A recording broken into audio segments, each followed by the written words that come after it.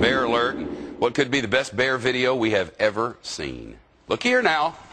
A man in Anchorage, Alaska captured this video. Look at this. See the little baby bear in the fishing net there? We're told that the net still smelled of salmon as the mama bear tried her best to pull that tangled mess uh, back into the woods. See there? She'd like, leave my bear alone. Soon after, the man and his neighbor jumped into their pickup to lend a hand. And as the truck's wheel held, ma- held down the net, Mama finally freed her little cub. Would you look at that? Bear hug there to make sure it was all right. Then they wandered back into the woods, possibly to find a much larger net with some springs.